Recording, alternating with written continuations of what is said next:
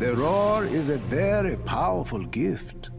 It can be used for great good, but it can also lead to terrible evil. Well, I'd never be like Scar.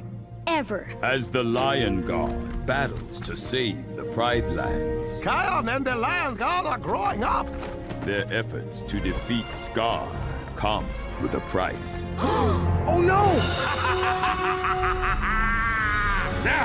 you have a scar, just like me. Now the Lion Guard must make an epic journey to the legendary Tree of Life. So Kion can find the healing he needs before it's too late. I'm not evil!